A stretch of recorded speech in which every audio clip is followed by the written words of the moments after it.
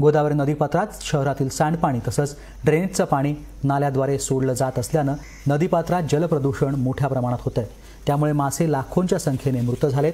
शहरातील गोवर्धन घाट नगीन घाट शनी मंदिर घाट यासह अनेक घाटांवर नदीपात्रात मृत अवस्थेतील माशांची चादर दिसते त्यामुळे या परिसरात दुर्गंधी पसरली आहे आता यावर महापालिका प्रशासन काय पाऊल उचलणार हे पाहावं लागणार आहे.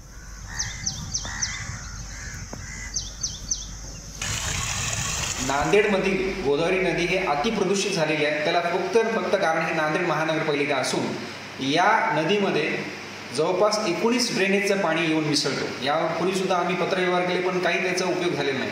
आजच्या परिस्थितीला या गोदावरी नदीमध्ये अडीच टन जवळपास मासे हे मृत अवस्थेमध्ये आहे आणि त्याला कारण फक्त पाणी पोल्युटेड आहे. कारण ड्रेनेजचं पाणी याच्यामध्ये आल्यामुळे पाणी सगळं ब- प्रदूषित झालेलं आहे. आणि हाच पाणी खालच्या टप्प्यामध्ये जात आहे. म्हणजे जिथं कुठं पाणी फिल्टर होते डंकिंगच्या एरियामध्ये आणि तोच पाणी आज नांदेडच्या शहरामध्ये पिण्याचे उपयोगी म्हणून वापरलं जातं. पण तो पाणी आजच्या स्टेटला तरी हानिकारक आहे.